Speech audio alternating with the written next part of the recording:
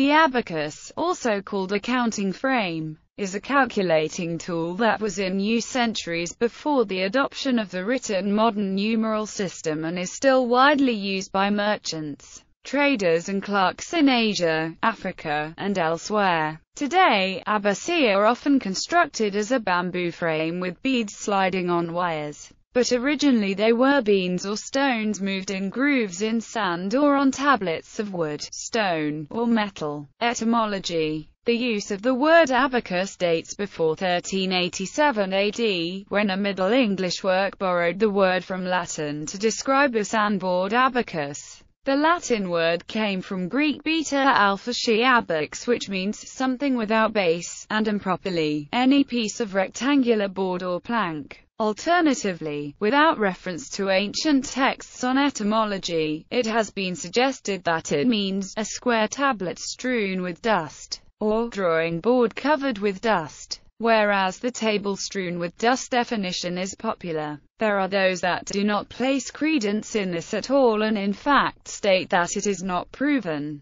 Greek beta alpha chi itself is probably a borrowing of a northwest Semitic, perhaps Phoenician, word akin to Hebrew abaq, dust. The preferred plural of abacus is a subject of disagreement, with both abacuses and abaci in use. The user of an abacus is called an abacist. History Mesopotamia in the period 2700-2300 BC saw the first appearance of the Sumerian abacus a table of successive columns which delimited the successive orders of magnitude of their sexagesimal number system. Some scholars point to a character from the Babylonian cuneiform which may have been derived from a representation of the abacus. It is the belief of Old Babylonian scholars such as Carruccio that Old Babylonians may have used the abacus for the operations of addition and subtraction. However, this primitive device proved difficult to use for more complex calculations. Egyptian The use of the abacus in ancient Egypt is mentioned by the Greek historian Herodotus who writes that the Egyptians manipulated the pebbles from right to left, opposite in direction to the Greek left-to-right method. Archaeologists have found ancient discs of various sizes that are thought to have been used as counters. However, wall depictions of this instrument have not been discovered. Persian During the Achaemenid Empire, around 600 BC the Persians first began to use the abacus. Under the Parthian, Sasanian and Iranian empires, scholars concentrated on exchanging knowledge and inventions with the countries around them, India, China, and the Roman Empire, when it is thought to have been exported to other countries. Greek The earliest archaeological evidence for the use of the Greek abacus dates to the 5th century BC. Also Demosthenes talked of the need to use pebbles for calculations too difficult for your head. A play by Alexis from the 4th century BC mentions an abacus and pebbles for accounting, and both Diogenes and Polybius mention men that sometimes stood for more and sometimes for less, like the pebbles on an abacus. The Greek abacus was a table of wood or marble, preset with small counters in wood or metal for mathematical calculations. This Greek abacus saw use in Achaemenid Persia, the Etruscan civilization, ancient Roman, until the French Revolution. The Western Christian world. A tablet found on the Greek island Salamis in 1846 AD, dates back to 300 BC, making it the oldest counting board discovered so far. It is a slab of white marble 149 centimeters long, 75 centimeters wide, and 4.5 centimeters thick, on which are five groups of markings. In the center of the tablet is a set of five parallel lines equally divided by a vertical line, capped with a semicircle at the intersection of the bottommost horizontal line and the single vertical line. Below these lines is a wide space with a horizontal crack dividing it. Below this crack is another group of 11 parallel lines, again divided into two sections by a line perpendicular to them but with the semicircle at the top of the intersection. The third Sixth and ninth of these lines are marked with a cross where they intersect with the vertical line. Also from this time frame the Darius vase was unearthed in 1851. It was covered with pictures including the treasurer holding a wax tablet in one hand while manipulating counters on a table with the other. Chinese The earliest known written documentation of the Chinese abacus dates to the 2nd century BC. The Chinese abacus, known as the suanpan, is typically 20 centimeters tall and comes in various widths depending on the operator. It usually has more than seven rods. There are two beads on each rod in the upper deck and five beads each in the bottom for both decimal and hexadecimal computation. The beads are usually rounded and made of a hardwood. The beads are counted by moving them up or down towards the beam. If you move them toward the beam, you count their value. If you move away, you don't count their value. The suanpan can be reset to the starting position instantly by a quick movement along the horizontal axis to spin all the beads away from the horizontal beam at the center. Suanpans can be used for functions other than counting. Unlike the simple counting board used in elementary schools, very efficient Suanpan techniques have been developed to do multiplication, division, addition, subtraction, square root and cube root operations at high speed. There are currently schools teaching students how to use it. In the long scroll along the river during the Qingming festival painted by Zhang Zeduan during the Song dynasty, a suanpan is clearly seen lying beside an account book in doctor's prescriptions on the counter of an apothecary's. The similarity of the Roman abacus to the Chinese one suggests that one could have inspired the other, as there is some evidence of a trade relationship between the Roman Empire and China. However, no direct connection can be demonstrated, and the similarity of the abaci may be coincidental, both ultimately arising from counting with five fingers per hand. Where the Roman model has 4 plus 1 bead per decimal place, the standard suanpan has 5 plus 2. Instead of running on wires as in the Chinese, Korean, and Japanese models, the beads of Roman model run in grooves presumably making arithmetic calculations much slower. Another possible source of the suanpan is Chinese counting rods, which operated with a decimal system but lacked the concept of zero as a placeholder. The zero was probably introduced to the Chinese in the Tang dynasty when travel in the Indian Ocean and the Middle East would have provided direct contact with India, allowing them to acquire the concept of zero and the decimal point from Indian merchants and mathematicians. Roman The normal method of calculation in ancient Rome, as in Greece, was by moving counters on a smooth table. Originally pebbles were used. Later, and in medieval Europe, jettons were manufactured. Marked lines indicated units, fives, tens etc., as in the Roman numeral system. This system of countercasting continued into the late Roman Empire and in medieval Europe, and persisted in limited use into the 19th century. Due to Pope Sylvester II's reintroduction of the abacus with very useful modifications, it became widely used in Europe once again during the 11th century. This abacus used beads on wires, unlike the traditional Roman counting boards which meant the abacus could be used much faster. Writing in the 1st century BC, Horace refers to the wax abacus a board covered with a thin layer of black wax on which columns and figures were inscribed using a stylus. One example of archaeological evidence of the Roman abacus, shown here in reconstruction, dates to the 1st century AD.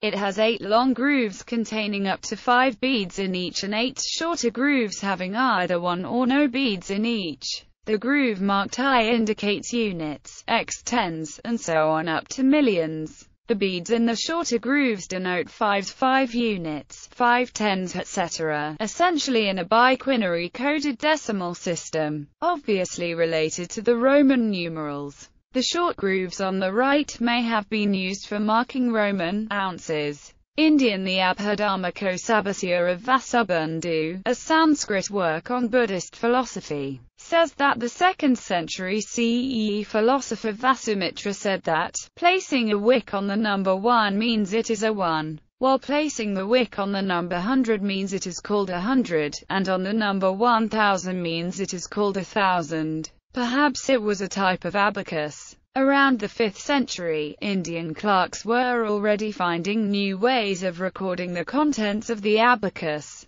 Hindu texts used the term sunya to indicate the empty column on the abacus. Japanese In Japanese, the abacus is called soroban, imported from China in the 14th century. It was probably in use by the working class a century or more before the ruling class started, as the class structure did not allow for devices used by the lower class to be adopted or used by the ruling class. The one-quarter abacus, which is suited to decimal calculation, appeared circa 1930, and became widespread as the Japanese abandoned hexadecimal weight calculation which was still common in China. The abacus is still manufactured in Japan today even with the proliferation, practicality, and affordability of pocket electronic calculators. The use of the soroban is still taught in Japanese primary schools as part of mathematics, primarily as an aid to faster mental calculation. Using visual imagery of a soroban, one can arrive at the answer in the same time as, or even faster than, is possible with a physical instrument. Korean The Chinese abacus migrated from China to Korea around 1400 AD. Koreans call it Jupan. Supan or Jusan means calculating with an abacus. Native American Some sources mention the use of an abacus called an epihualtzitza in ancient Aztec culture. This Mesoamerican abacus used a five-digit base 20 system. The word nepohualtzintzin, nepa comes from Nahuatl and it is formed by the roots ni, personal, poul or pouli, powali, the account, and t small similar elements. Its complete meaning was taken as counting with small similar elements by somebody. Its use was taught in the Calmecac to the Tamalpurkwa Tamalpoke, who were students dedicated to take the accounts of skies, from childhood. The Nepohualtzintzin was divided in two main parts separated by a bar or intermediate cord.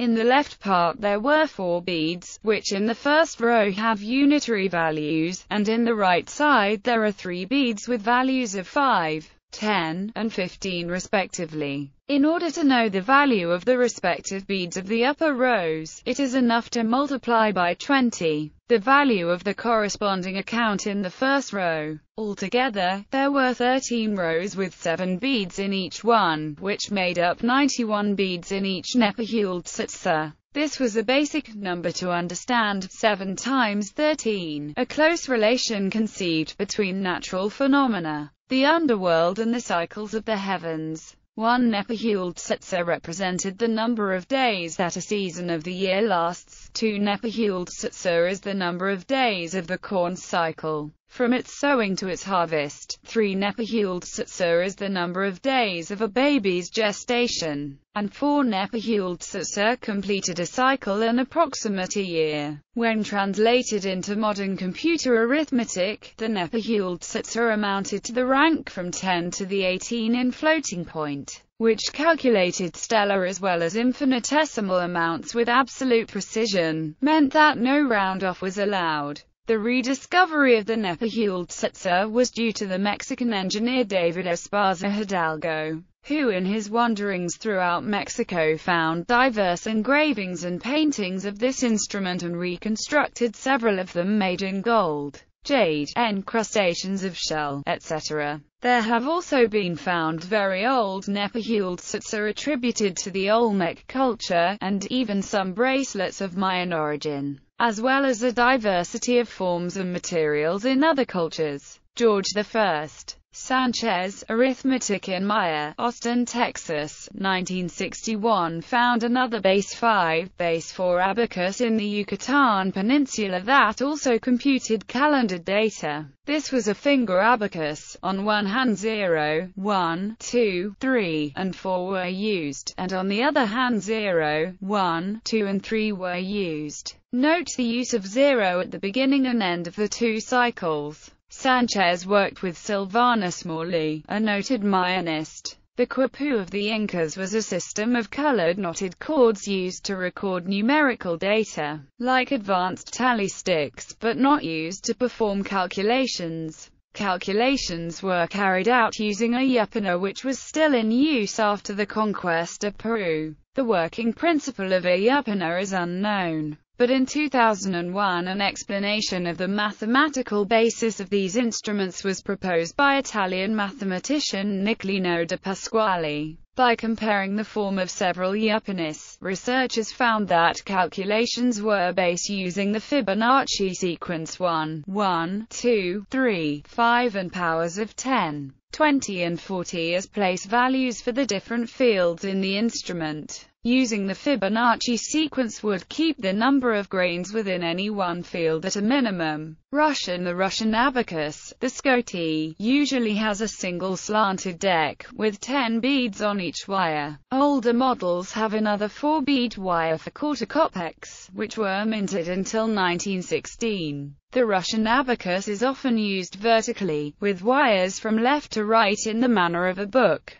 The wires are usually bowed to bulge upward in the center, to keep the beads pinned to either of the two sides. It is cleared when all the beads are moved to the right.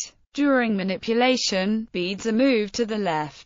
For easy viewing, the middle two beads on each wire usually are of a different color from the other eight beads. Likewise, the left bead of the thousands wire may have a different color. As a simple, cheap and reliable device, the Russian abacus was in use in all shops and markets throughout the former Soviet Union, and the usage of it was taught in most schools until the 1990s. Even the 1874 invention of mechanical calculator, Odhner arithmometer, had not replaced him in Russia and likewise the mass production of Felix arithmometers since 1924 did not significantly reduce their use in the Soviet Union. The Russian abacus began to lose popularity only after the mass production of microcalculators had started in the Soviet Union in 1974. Today it is regarded as an archaism and replaced by the handheld calculator. The Russian abacus was brought to France around 1820 by the mathematician Jean-Victor Poncelet who served in Napoleon's army and had been a prisoner of war in Russia. The abacus had fallen out of use in Western Europe in the 16th century with the rise of decimal notation and algorithmic methods. To Poncelet's French contemporaries, it was something new. Poncelet used it, not for any applied purpose, but as a teaching and demonstration aid. The Turks and the Armenian people also used abaci similar to the Russian schoty. It was named a kolba by the Turks and a korib by the Armenians. School abacus Around the world, abaci have been used in preschools and elementary schools as an aid in teaching the numeral system and arithmetic. In Western countries, a bead frame similar to the Russian abacus but with straight wires and a vertical frame has been common. It is still often seen as a plastic or wooden toy. The wire frame may be used either with positional notation like other abaci, or each bead may represent one unit. In the bead frame shown, the gap between the fifth and sixth wire, corresponding to the color change between the fifth and the sixth bead on each wire, suggests the latter use. The red and white abacus is used in contemporary primary schools for a wide range of number-related lessons.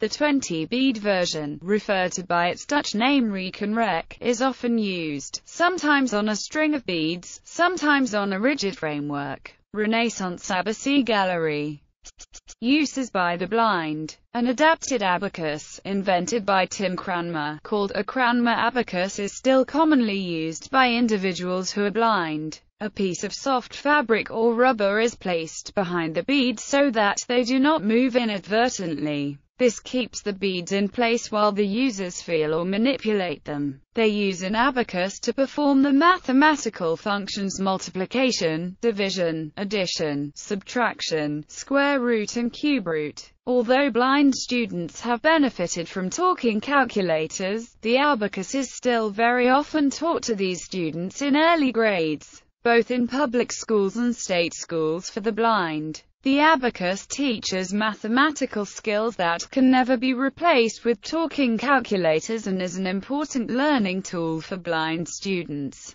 Blind students also complete mathematical assignments using a braille writer and Nemeth code but large multiplication and long division problems can be long and difficult. The abacus gives blind and visually impaired students a tool to compute mathematical problems that equals the speed and mathematical knowledge required by their sighted peers using pencil and paper. Many blind people find this number machine a very useful tool throughout life. Binary abacus The binary abacus is used to explain how computers manipulate numbers. The abacus shows how numbers, letters, and signs can be stored in a binary system on a computer, or via ASCII. The device consists of a series of beads on parallel wires arranged in three separate rows. The beads represent a switch on the computer in either an on or off position.